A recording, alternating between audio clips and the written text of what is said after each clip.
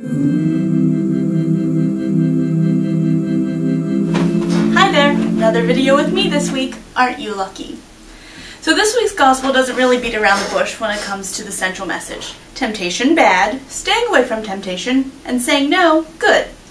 And it's a good message for Lent as we enter this season of self-sacrifice and giving up the goodies that we crave day to day. But what sticks out to me most in this gospel story is the timing that they talk about.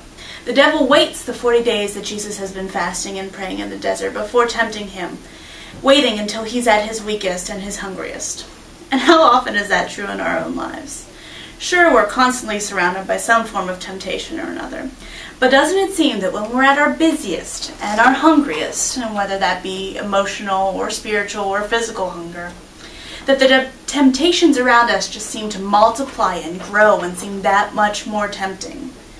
Those moments also make it easier to justify giving in because we are tired and fed up with the world. So what would giving in or trying just a little bit hurt? So what will help us with this feeling like we're giving in?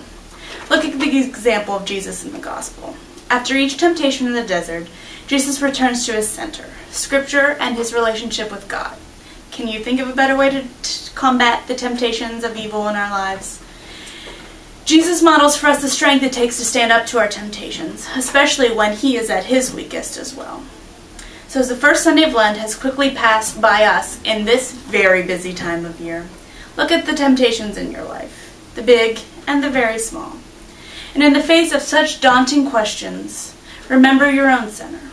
Because in the end, we are all loved and protected by a God who is bigger than any fear or temptation that we could ever have and he will be there every step of the way, just as it says in our second reading from Romans, that everyone who calls on the name of the Lord will be saved, and no one who believes in him will be put to shame. So have a great week and have a great Lent.